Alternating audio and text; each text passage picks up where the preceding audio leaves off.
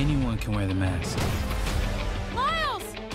But how you wear it, that's what matters. All you had to do was listen. Everyone keeps telling me how my story is supposed to go. I'm Spider-Man. No one can take that away from me. Spider-Man Across the Spider-Verse. Exclusively in theaters June 2nd.